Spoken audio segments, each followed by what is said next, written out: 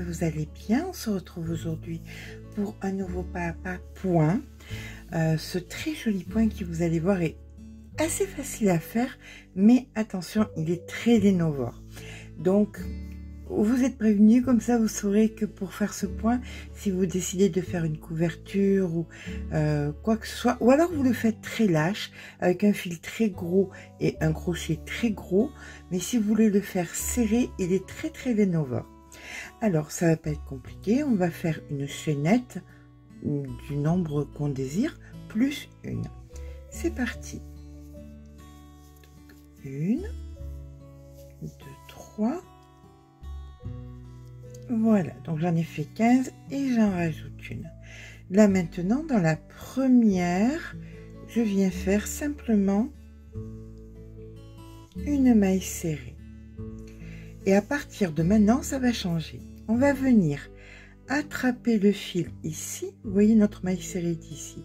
On prend la première ici, on pique dans la première maille, on récupère le fil. On a trois fils sur le crochet eh bien nous faisons notre premier jeté.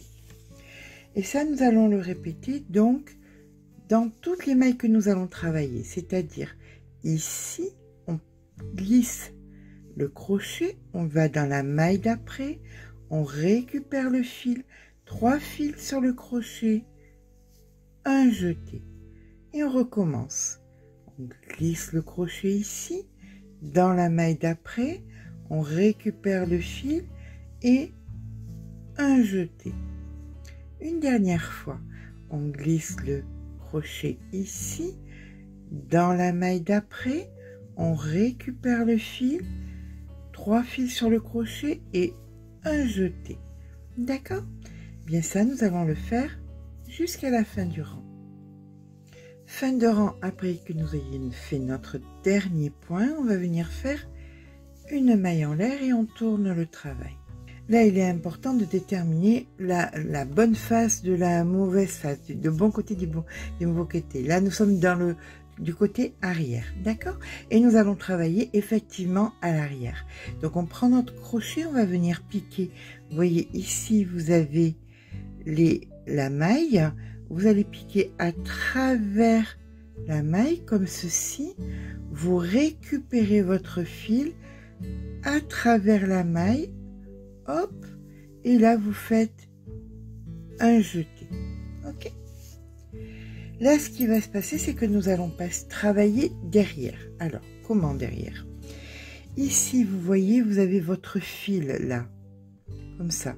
Vous glissez le, le crochet dedans, vous allez dans la maille suivante et vous le piquez, vous piquez vers vous, vous récupérez le fil, Regardez le poignet, il va tourner. Hop, le poignet tourne.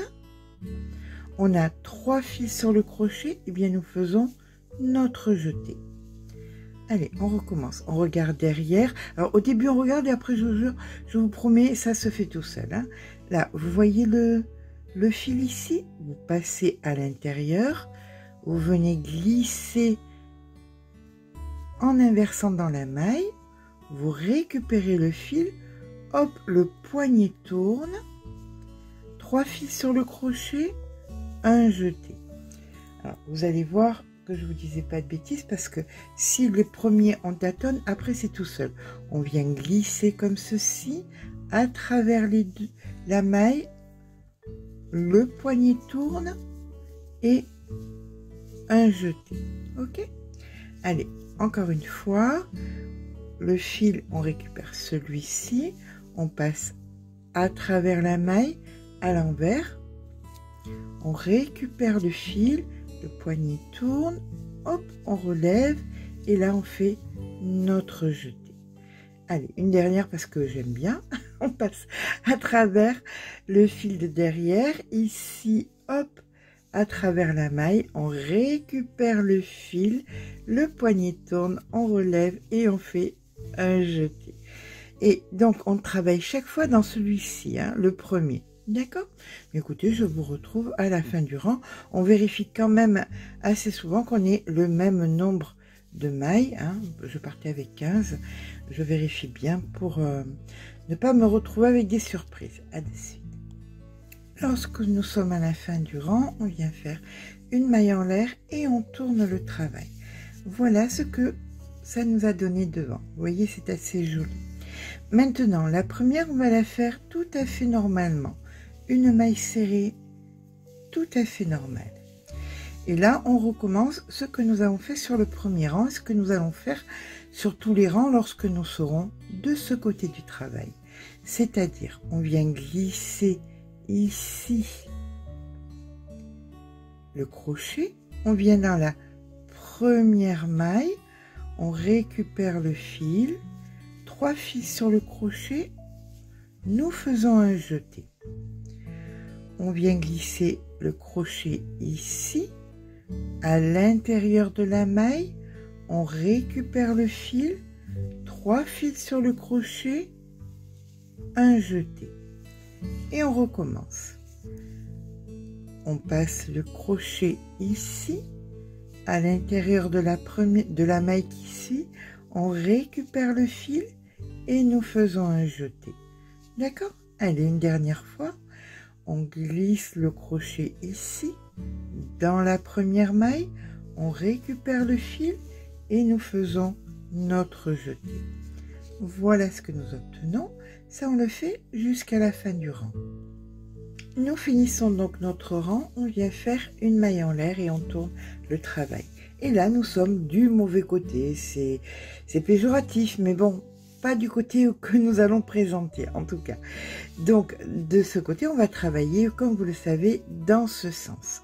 Donc là, simplement, pour la première, on va venir piquer dans la première maille à l'envers, on récupère le fil, hop, un petit coup de, de crochet et ici, un jeté. Voilà.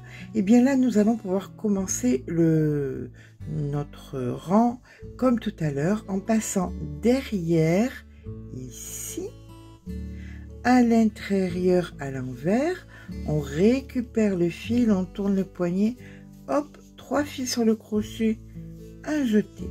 Et on recommence. On récupère le fil ici derrière.